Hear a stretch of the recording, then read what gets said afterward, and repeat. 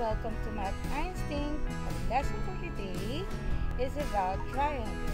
Triangle according to angles. Let's play true or false. Is this a triangle?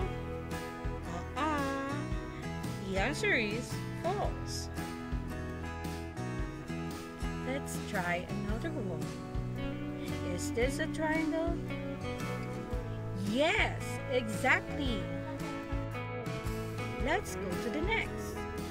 Is this a triangle? Uh-uh. The answer is false.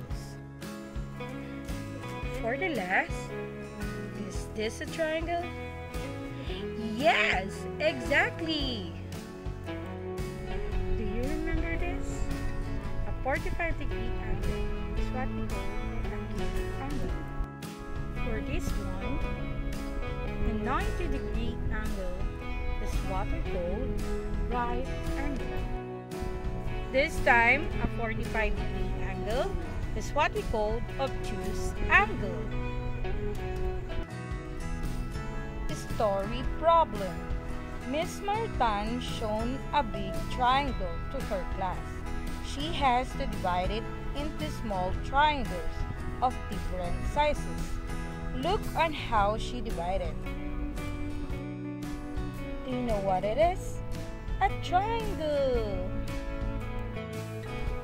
A triangle is divided into three different sizes. And remember, triangle has three sides and three angles. Triangle can be classified according to their angles. First, acute triangle. It has three acute angles.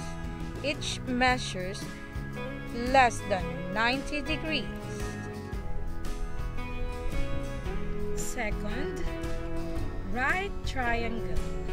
It has right angle, which measures 90 degrees. Third, obtuse triangle. It has an obtuse angle, which measures more than 90 degrees. In addition, equiangular triangle. The three angles are equal and its angle are acute. Oops, don't forget, the sum of the angles of the triangle is 180 degrees.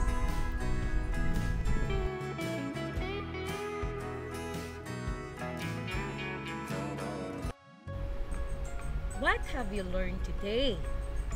Complete the sentence. I have learned that Remember, number one, the triangle can be classified according to their angles such as right triangle, acute triangle, obtuse triangle, and equilateral triangle. Number two, the sum of the angle of a triangle is equal to 180 degrees.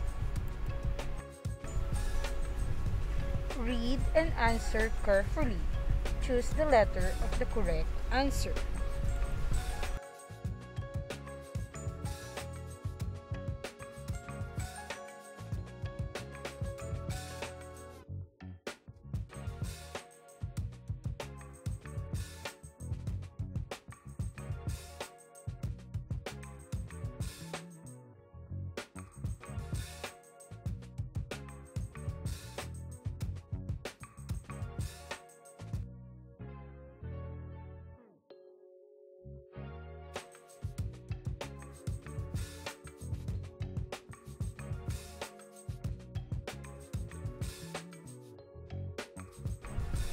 Thank you for participating.